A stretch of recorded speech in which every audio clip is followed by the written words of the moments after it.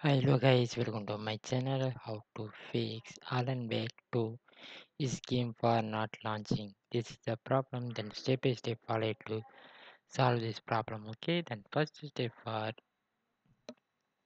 restart the PC. Then second step for check the game minimum requirements using for the device to compare the game requirements. Okay. Then any one difference to get change the RAM and ROM you will using the uh, any background applications using to you will right click to end task or wastage apps to you will get delete okay?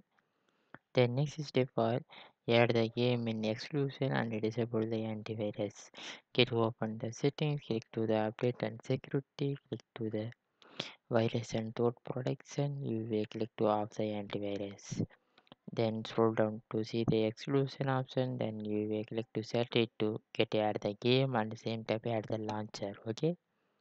Then next step for you will step step for it to get check this error for fix it to get inside the game but not fix it to you will connect to the next step okay? Then get to open the file location for the, this game then select the application click to the right click to properties click to the community mode then you will enable the run as program as an administrator. Enable to get update get okay then next step for verify the game files. Using get open the launcher to you will get selected the game then right click to the local files. You will click to the verify option then you will click to verify to this is the any one file problem to this is the verify to this is the problem for solve it okay?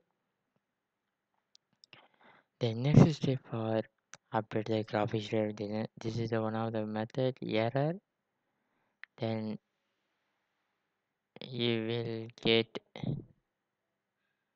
it to let's check to the NS administrator for the dis display adapter then get updated to get first option you will click to set it to get installed okay? Then finally this six step is finished to this is the not responding for maximum delays for this is solved but not solved to you will pin the command and you will see the description to you will read to get solve it or i'm already tried to you will install the game okay then thank you for watching